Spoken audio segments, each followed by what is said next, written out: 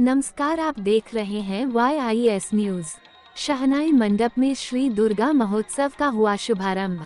मुरादाबाद में शुक्रवार को शहनाई मंडप में नवरात्र की षष्ठी से शुरू हुआ माँ दुर्गा का पूजन।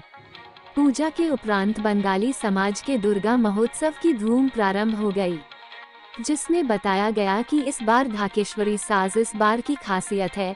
माँ की वेशभूषा ढाका में माता द्वारा पहने जाने वाली वेशभूषा की तरह होगा इसे ढाकेश्वरी साज कहते हैं। माता के सजे पंडाल में रौनक हो रही है।